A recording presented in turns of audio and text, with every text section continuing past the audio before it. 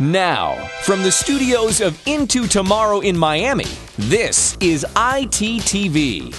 Hello, tech fans, and welcome back to another Into Tomorrow update brought to you by Newegg.com. I'm Dave Graveline, feeling a little red this week.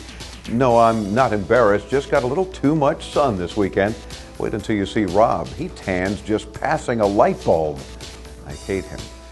Anyway, we're finally just back in our Miami studios after reporting around the world from several remote broadcasts, including IFA in Berlin, Germany, CEDIA in Atlanta, gifts for the digital holidays from New York City, the Intel Developer Forum in San Francisco, and we're not finished.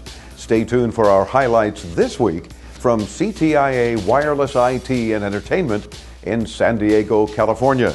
We've got the latest in mobile news for you, so don't miss a beat by connecting with us at graveline.com if you're not already here.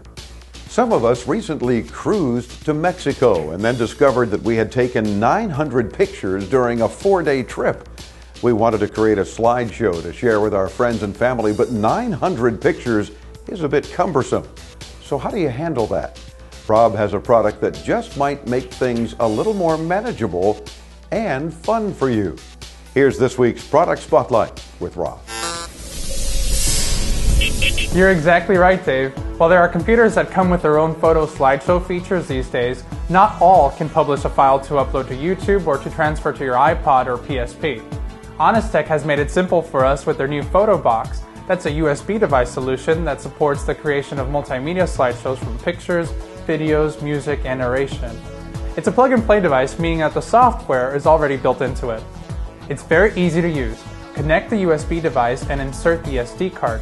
The Fotobox program is then launched.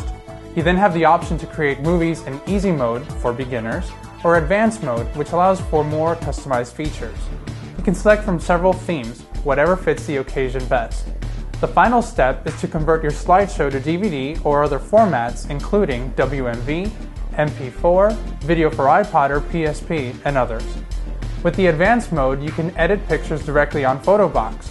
For instance, you can add various effects to them or crop and remove red eye. You can also add fun titles, background music, and narration. While the software is easy to use, we found it to be a little slow when it was time to publish our movie. Not sure if it was because I had so many pictures or if my laptop was too slow. I tried it with less pictures and compressed the file a little bit, and it seemed to have sped up the process. Overall, Fotobox does make slideshow creation simple to do, especially when you have many pictures to deal with from a recent trip. Fotobox is available now from Honestech for PCs only for about 80 bucks. I'm going to upload my movie to YouTube now, so let's send it over to Dave.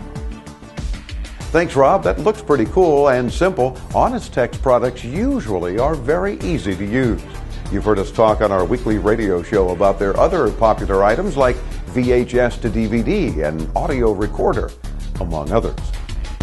This ITTV Into Tomorrow TV update is brought to you by Newegg.com. Buy and save on electronics today. Visit Newegg.com now for jaw dropping savings on close to 40,000 tech products. Once you know, you Newegg. Do you remember when telephones were first available on airplanes? Chris Graveline has the answer for you on This Week in Tech History. Chris? This week in 1968, the U.S. launched Apollo 7. Described by Commander Walter M. Schirra Jr. as a magnificent flying machine, Apollo 7 traveled some 4.5 million miles in orbit around the Earth to become the first manned flight in NASA's lunar landing program.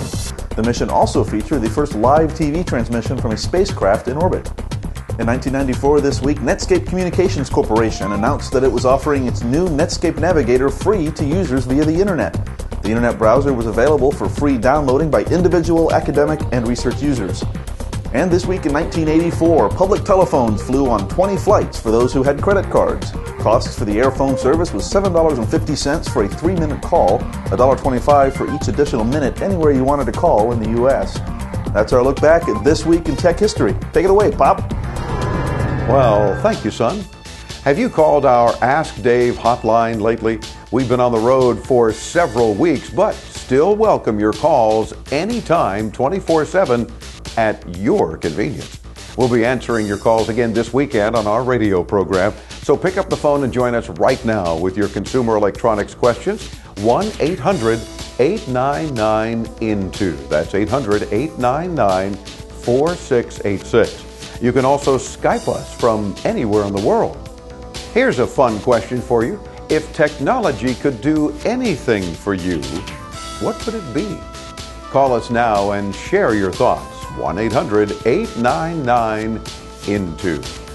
Thanks for joining us into tomorrow. We'll be waiting for you next week, right here. Meantime, TTYL.